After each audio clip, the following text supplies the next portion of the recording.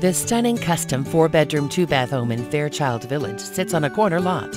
This home has a formal living and dining combination, a chef's kitchen that features white cabinetry, granite countertops with a backsplash, and stainless steel appliances.